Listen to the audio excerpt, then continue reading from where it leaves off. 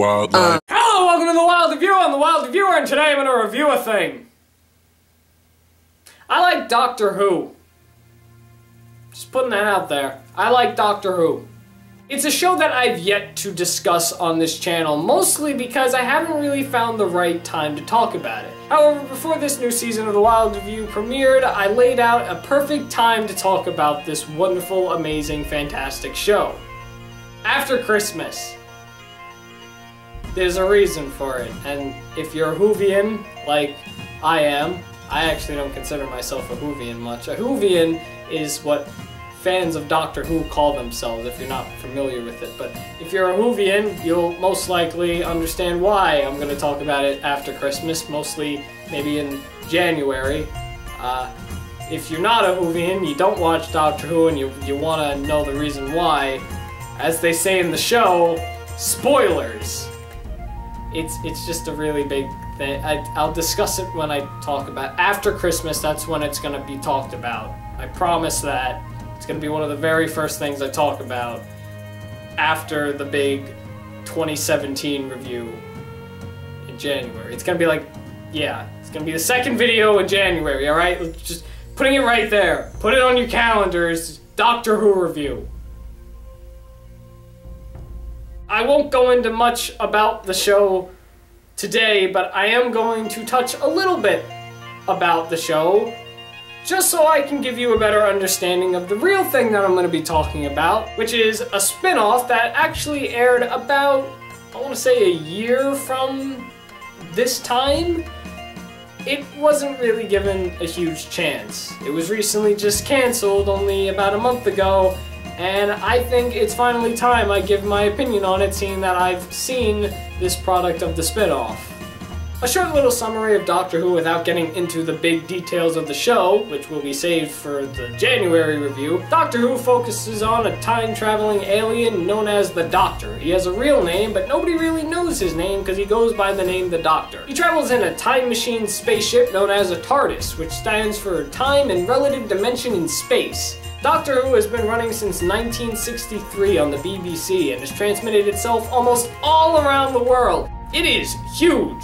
People are obsessed with this show. A show that is so big like Doctor Who, and especially one that focuses on a bunch of different characters and has the idea of going to different places and traveling, it's no surprise that they would have a lot of spin offs.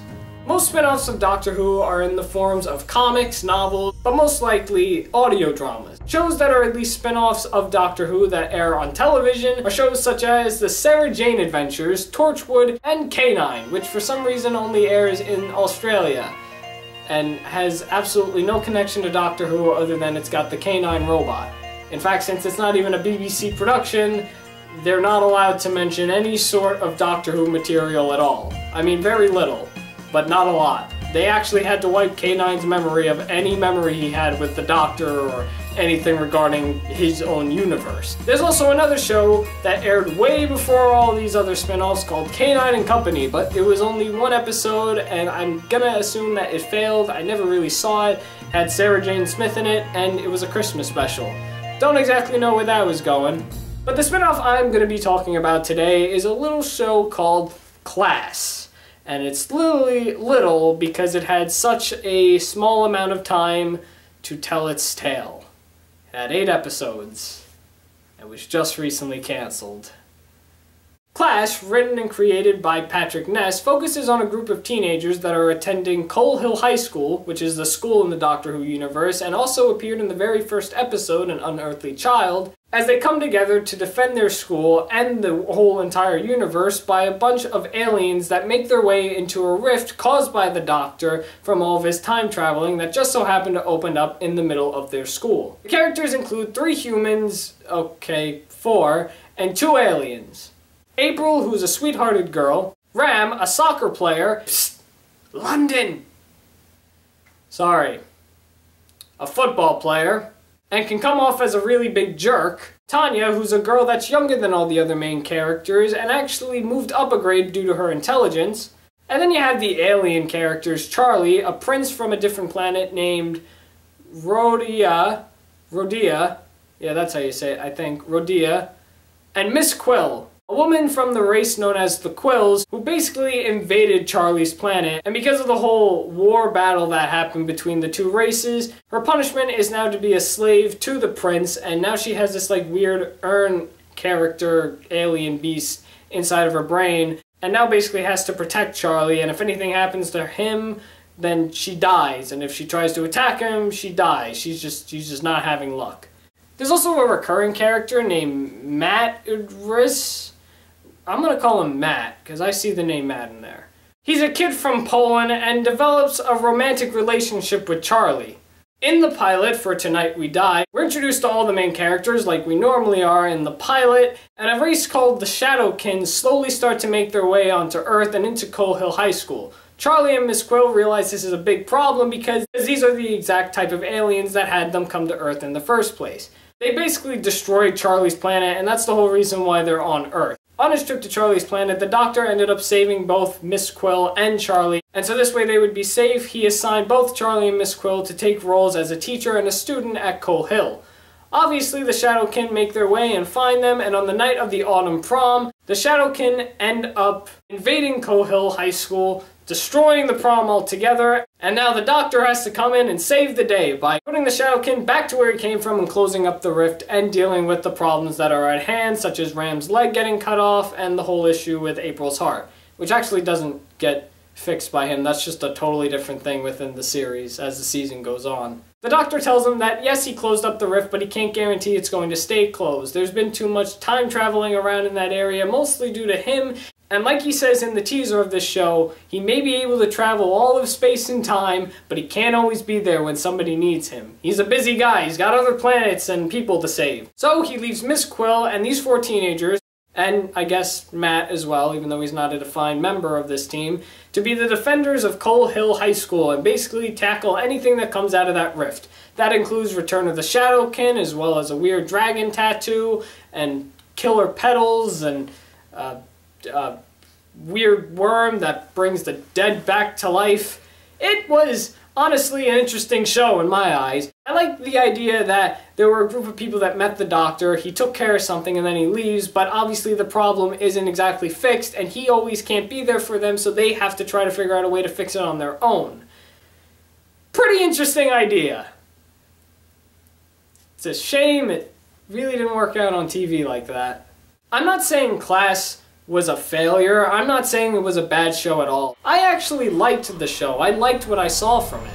I will admit it's got a different tone than Doctor Who normally has. Doctor Who is a science fiction children's show, and it's supposed to be scary, but it's also an adventure show. Class is completely the opposite. The sci-fi elements are still there, but the show is more for adults. It deals with more adult issues. They have sex in the show. They say swear words without censoring them. It's such a different tone that you would never really guess it came from a product such as Doctor Who, where it's so friendly and sometimes childish and innocent and scary and funny.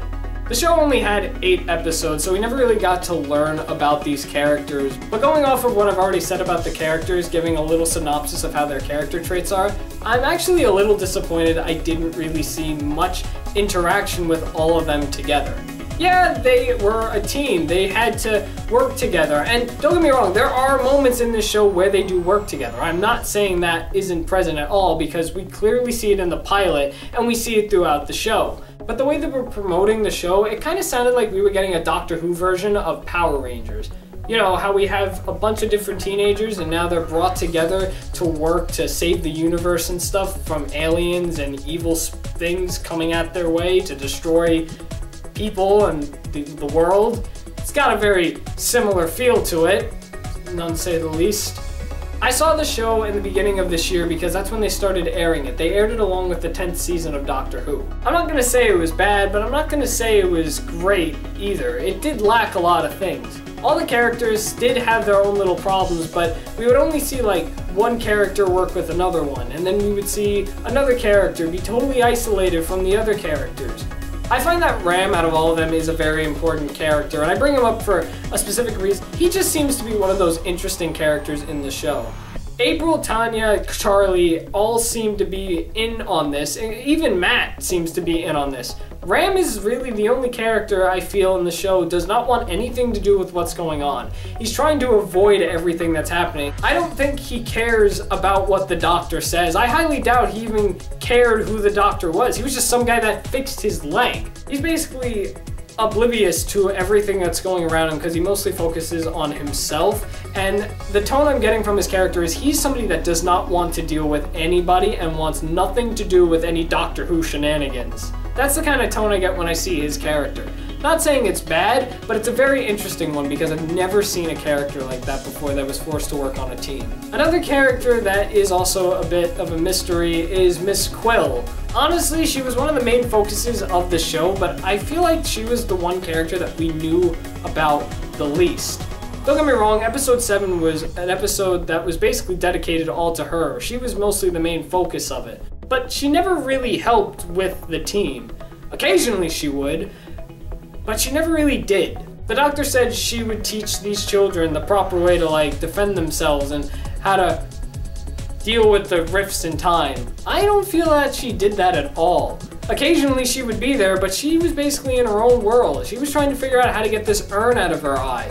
And when she did, she basically isolated herself from everybody else. I think only in the first and last episode did she actually help out with the stuff going on with the cracks in time. Like I said, class wasn't bad, but it's also not the best. I definitely say I did enjoy it. I, I enjoyed seeing a different side of the Doctor Who universe. I, that is something that I think was original on its own. This whole idea, in fact, was original. I've never seen anything like this before, if you exclude the fact of teenagers coming together to save the universe.